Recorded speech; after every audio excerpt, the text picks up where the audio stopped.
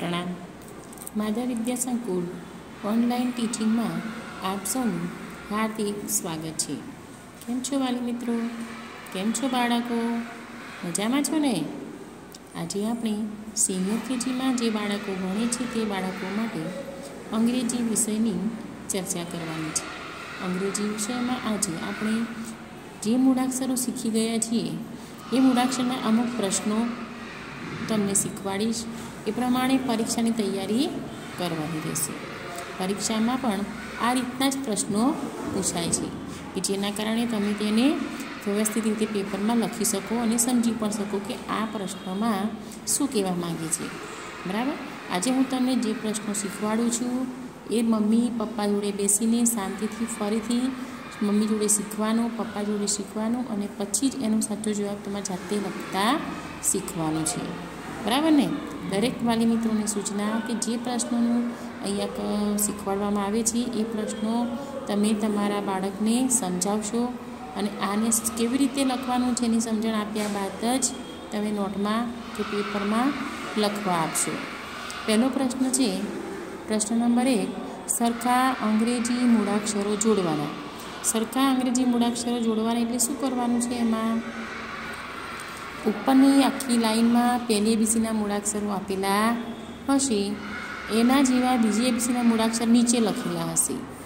આ જ એની નીચેની લાઈનમાં બરાબર? આપણે શું કરવાનું છે? આ મૂળાક્ષરો પહેલી એબીસીના મૂળાક્ષર છે, એને બીજી એબીસીના મૂળાક્ષર સાથે જોડી દેવાના છે. આપણે એટલું જ કરવાનું છે. બરાબર? પાંચ પૂછાશે મૂળાક્ષરો. પહેલી એબીસીના પાંચ મૂળાક્ષર ઉપર લખેલા છે. અને એ જ બીજી એબીસીના મૂળાક્ષરો નીચે લખેલા છે, પાંચ મૂળાક્ષર. હવે એ મૂળાક્ષરને સામ સામે જોડી દેવાના છે. અહીંયા જુઓ, પહેલો મૂળાક્ષર કયો આપેલો છે? જે ફોર જોકર તો નીચે લાઇનમાં બીજી એબીસીનો મૂળાક્ષર ક્યાં છે? જે ફોર જોકર આવ્યો તો પહેલી એબીસીનો જે મૂળ, જે મૂળાક્ષર છે, એને બીજી એબીસીના મૂળાક્ષર સાથે આવી રીતે જોડી દેવાનું છે. બરાબર? સમજણ પડી દરેક જણાને? હા. હવે જુઓ, બીજો પ્રશ્ન, બીજો શું છે બાજુમાં? મૂળાક્ષર કે ફોર કાઇટ હવે નીચેની લાઇનમાં ક્યાં છે? કે ફોર કાઇટ આ રહ્યા. કે ફોર કાઇટ આવી રીતે આમ જોડી દેવાનું છે. બરાબર?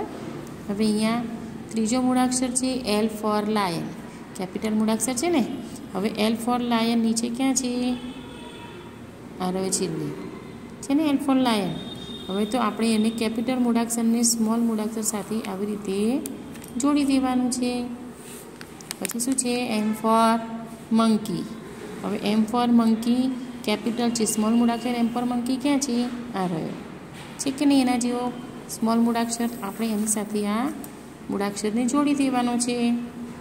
સમજણ પડી બધાને? હવે જુઓ. કયો મૂળાક્ષર લખેલો છે? N for nest. બરાબર? કેપિટલ મૂળાક્ષર છે ને? નીચે જુઓ. એન ફોર નેસ્ટ બીજે બીજેનું મૂળાક્ષર છે ને? સ્મોલ મૂળાક્ષર હા, તો આપણે આ કેપિટલ મૂળાક્ષરને એન ફોર નેસ્ટ સાથે આવી રીતે જોડી દેવાનું છે. ખબર પડી બધાને? જુઓ, આ પાંચ મૂળાક્ષરો જોડો એટલે પાંચ માર્ક્સ આપણને મળી જાય. બધાએ કમ્પ્લીટલી સમજવાનું અને પછી જોડવાનું. બરાબર? મમ્મી પપ્પા જે રીતે સમજાવે તે સમજી જવાનું અને પછી જ આ મૂળાક્ષરોને જોડવાના. તમારા પાંચ માર્ક્સ કમ્પ્લીટ આમાંથી મળી જવા જોઈએ. બરાબર ને? ચલો, આપણે પાંચ માર્ક્સનું શીખી ગયા. ફરીથી એવા જ મૂળાક્ષરો નીચે આપેલા છે, જુઓ. એમ ઓ પી એન અને ડી કેપિટલ મૂળાક્ષરો ઉપર છે, નીચે સ્મોલ મૂળાક્ષરો લખેલા છે. બરાબર? આપણે શું કરવાનું છે? તમને સમજાવીને ને એવી રીતે જ? જોડકા જોડી દેવાના છે. કેપિટલ મૂળાક્ષર એમ પહેલો લખ્યું છે, તો નીચે ક્યાં છે? સ્મોલ મૂળાક્ષર એમ આવ્યો છેલ્લે. બરાબર? તો આપણે શું કરીશું? આ મૂળાક્ષરને આવી રીતે જોડી દેવાનો છે. હવે શું છે યાર એની બાજુમાં ઓ ફોર ઓરેન્જ આ લાઈનમાં ક્યાં છે ઓ ફોર ઓરેન્જ આ રહ્યો. સ્મોલ મૂળાક્ષર ઓ છે ને? હા. તો આપણે કેપિટલ મૂળાક્ષરને સ્મોલ મૂળાક્ષર સાથે જોડવાનું છે. ત્યાર પછી છે પી ફોર પેરોટ આ લાઇનમાં ક્યાં છે પી ફોર પેરોટ આ રહ્યો. તો પી ફોર પેરોટ કેપિટલ મૂળાક્ષર છે. એને આપણે સ્મોલ મૂળાક્ષર સાથે જોડી દેવાનો. ત્યારબાદ શું છે એની બાજુમાં એન ફોર નેસ્ટ કેપિટલ મૂળાક્ષર છે ને? તો સ્મોલ મૂળાક્ષર ક્યાં છે? આ રહ્યો તો આને આવી રીતે આમ જોડી દેવાનો છે. ત્યારબાદ છે ડી ફોર ડોગ. કેપિટલ મૂળાક્ષર છે. હા, સ્મોલ મૂળાક્ષર ક્યાં છે? D for dog. આ રહ્યો. તો આપણે આ ડી ફોર ડોગને સ્મોલ મૂળાક્ષર સાથે જોડી દેવાનો છે. જુઓ, આપણે પાંચ માર્ક્સના આ એક પ્રશ્ન શીખી ગયા. શીખી ગયા દરેક જણા? આવી જ રીતે વાલી મિત્રો તમારા બાળકને નોટમાં આવી રીતે પ્રશ્ન બનાવી અને સમજાવી અને પછી એની જાતે જ જોડકા જોડવા માટે આપવાના. કે કેપિટલ મૂળાક્ષર ઉપર છે, સ્મોલ મૂળાક્ષર નીચે લખેલો છે. આપણે કેપિટલ મૂળાક્ષર જેવો સ્મોલ મૂળાક્ષર શોધી અને આપણે એની સાથે જોડકા જોડવાના છે બરાબર? ખબર પડી ગયા દરેક જણાને? હવે જુઓ. ખૂટતો મૂળાક્ષર લખો. ખૂટતો મૂળાક્ષર એટલે પહેલી એબીસીડી અને બીજી એબીસીડી મૂળાક્ષરો ભેગા જ આપેલા છે. પણ એક લાઈન આખી બીજી એબીસીડી હશે. બીજી લાઈન હોય એ પહેલી એબીસીના અક્ષર આખી લાઈનમાં પહેલી એબીસીના મૂળાક્ષર લખવાના બરાબર ને એટલે પહેલી એબીસીડી અને બીજી એબીસીના મૂળાક્ષરો બંને અંદર ભેગા જ છે પણ આખી લાઈનમાં મૂળાક્ષર બીજી એબીસી લખ્યું હોય તો બીજી એબીસીના જ લખવાના પહેલી એબીસીડી લખી હોય તો પહેલી એબીસીના મૂળાક્ષર લખવાના ખબર પડશે દરેક જણાને હવે જુઓ આ લાઈન કઈ એબીસીડી છે બીજી એબીસીડીની છે કઈ બીજી એબીસીડીની આ લાઈન છે તો પહેલાં શું લખેલું છે જે ફોર જોકર એની બાજુમાં શું આવે કે ફોર કાઇટ લખેલું છે અહીંયા? નથી. આપણે શું કરીશું?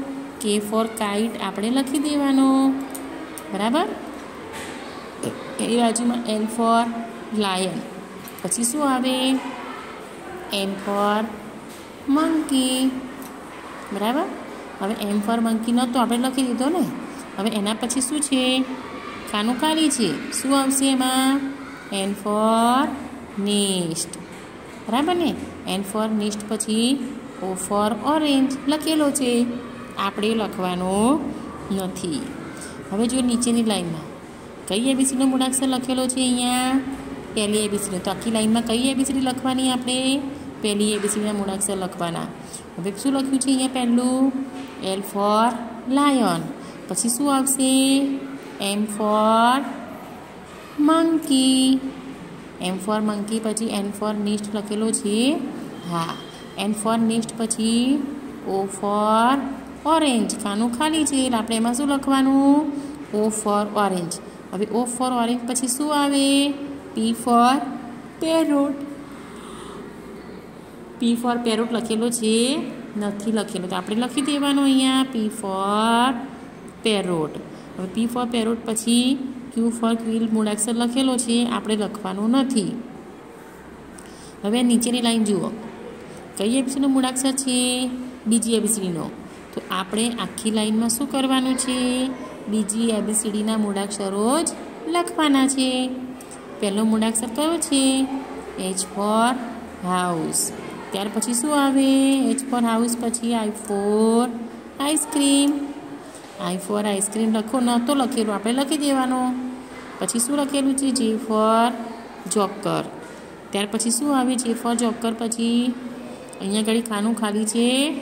હા, ખાલી છે ને ખાનું? તો જે ફોર જોકર પછી શું આવશે? જે ફોર જોકર પછી કે ફોર કાઇટ. શું આવે? K for kite. K for kite પછી એલ ફોર લાયન લખેલો છે. હવે એલ ફોર લાયન પછી શું આવે? એમ ફોર મંકી લખેલો છે અહીંયા નથી. ખાનું ખાલી છે તો આપણે લખી દેવાનું એની અંદર એમ ફોર મંકી બરાબર? આને શું કહેવાય? ખૂટતા મૂળાક્ષરો. ખૂટતા મૂળાક્ષરો કે જે મૂળાક્ષર ના હોય, આપણે બોલતું જવાનું, લખતું જવાનું છે. નીચે જુઓ. કઈ એબીસીનો મૂળાક્ષર છે આ? પહેલી એબીસીનો આપણે શું કરવું પડશે? પહેલી એબીસીડી અહીંયા લખવાની છે. એટલે કે જે મૂળાક્ષર ના હોય એ લખવાનું. હવે L for lion L for લાયનના પહેલાં શું આવે? આગળ. તો કે ફોર કાઇટ શું આવે અહીંયા? કે ફોર કાઇટ પહેલી એબીસીનો કે ફોર કાઇટ લખવાનો.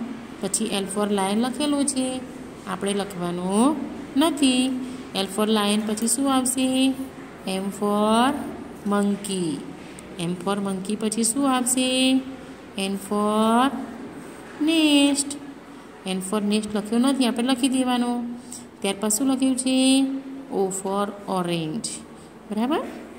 હવે નીચે. કઈ એબીસીનો મૂળાક્ષર લખેલું છે અહીંયા? ડી ફોર ડોલ હવે ડી ફોર ડોલ પછી શું આવે? ઈ ફોર એલિફન્ટ લખેલો છે? ના. તો આપણે લખી દેવાનો. ઈ ફોર એલિફન્ટ પછી શું આવે?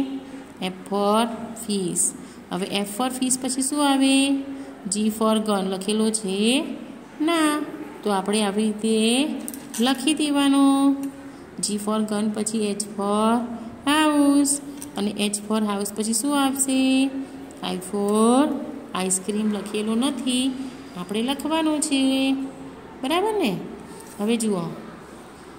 પહેલું ખાનું ખાલી છે. અને બાજુમાં લખેલું છે મૂળાક્ષર એમ ફોર મંકી કઈ એબીસીનો મૂળાક્ષર છે આ? બીજી એબીસીડીનો તો આપણે શું કરવાનું? એમ ફોર મંકી આ લાઈનમાં બીજી એબીસીડી જ લખવાની છે. હવે એમ ફોર મંકીના પહેલાં શું આવશે? શું આવશે એના પહેલાં? L for lemon M for monkey લખેલો છે. પછી શું આવશે? N for nest N for next પછી ઓ ફોર ઓરેન્જ લખેલો છે. ના, તો આપણે લખી દેવાનો. ઓ ફોર ઓરેન્જ પછી શું આવે? પી ફોર પેરોટ લખેલો છે. હા, આપણે લખવાનો નથી. આવી રીતે આજે આપણે આ વિડીયોમાં બે પ્રશ્નો શીખ્યા છીએ. સરખા અંગ્રેજી મૂળાક્ષરો જોડો. અને બીજો પ્રશ્ન, ખૂટતા પહેલી બીજી એબીસીના મૂળાક્ષરો લખવાના. બરાબર? આ બે પ્રશ્નો પાંચ પાંચ માર્ક્સના પરીક્ષામાં પૂછાય. તો આપણે એબીસીડી બરાબર શીખી જઈએ તો જ આપણને મૂળાક્ષરો લખવાની, જોડવાની ખબર પડે. પહેલી અને બીજી બંને એબીસીડી બરાબર લખવાની. સમજી જેવા સમજી લેવાની કે કયા મૂળાક્ષર શું કહેવાય આને. બરાબર? અને કેવી રીતે લખાય. એટલી તમને સમજણ પડશે, તો તમે જરૂરથી આખું, આખો પ્રશ્ન, આખું પેપર સારી રીતે તમે લખી શકશો. દરેક વાલી મિત્રોને સૂચના કે બતાવ્યા પ્રમાણે જ તમે તમારા પાલ્યને સમજાવો અને લખવા માટે આપશો. પ્રણામ.